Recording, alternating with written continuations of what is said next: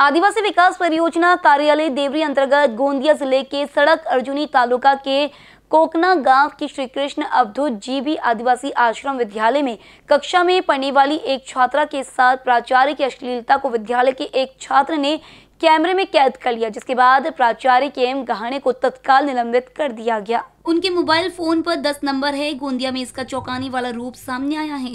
खास बात यह है कि राज्य के आदिवासी विकास मंत्री डॉक्टर विजय गावित गोंदिया ज़िले में आ रहे हैं। इसलिए घटना की जानकारी नहीं दी गई पुलिस, क्योंकि संचालक और देवरी परियोजना अधिकारी ने इसे दबा दिया।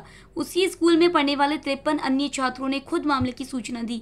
यह आदिवासी परियोजना अधिकारी विकास रांचेलवार को लिखित रूप में किया गया है। तो जैसे इस बात की जानकारी गोंदिया ज़िले के विभिन्न आदिवासी संगठनों को लगी तो पदाधिकारियों ने श्री गणेश अवधूत के आदिवासी आश्रम शाला में जाने के बारे में पूछताछ की होगी।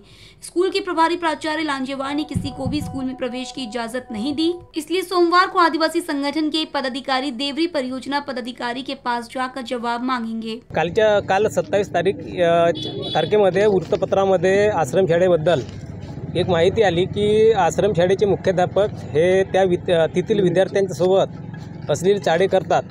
अशी माहिती परकाय झाल्यावर आम्ही आदिवासी संघटनेच्या मार्फत या ठिकाणी तेथील म्हणजे प्रकरण काय आहे बा याची चौकशी करण्यासाठी या ठिकाणी आम्ही आलो आहोत. आणि आज आम्हाला त्या कर्मचाऱ्यांसोबत बोलायचं होतं पण त्यांनी आम आम्हाला म्हणाले की बा तुम्ही पी ओ सा पी ओ अधिकार म्हणजे पी ओ ऑफिसरचं परमिशन घ्या. असं म्हटल्याच्यानंतर आम्ही त्यांना अर्ज दिला. अर्ज दिल्याच्यानंतर ते म्हणत आहेत की जे आम्ही आपली वेळ तुम्हाला नंतर सांगू. तर आमचे काही यांच्यासोबत बोलणं झालं नाही पण या ठिकाणी वृत्तपत्रामध्ये जे आपण वाचलं की या ठिकाणी व्य- मुख्याध्यापक आणि येथील विद्यार्थिनी यांच्यासोबत म्हणजे असे प्रकारचे पुष्कळसे कृत्य करण्यात येत आहे.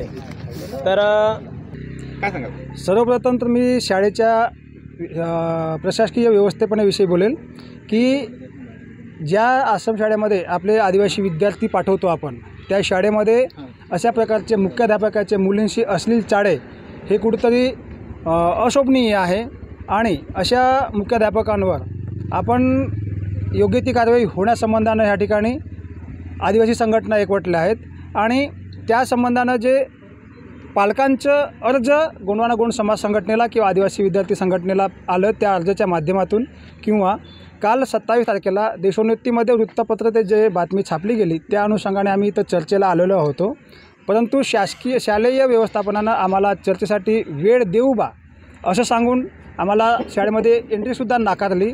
आणि ज्या पालकांच्या किंवा ज्या विद्यार्थिनीच्या अनुषंगाने हे प्रकरण घडलं आहे तर त्या मुलीलासुद्धा आणि दबावात आणलं होतं.